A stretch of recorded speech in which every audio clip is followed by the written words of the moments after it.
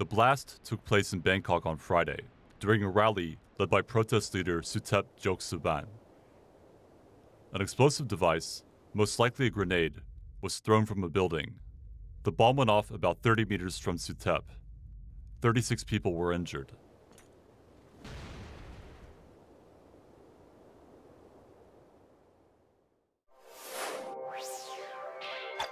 you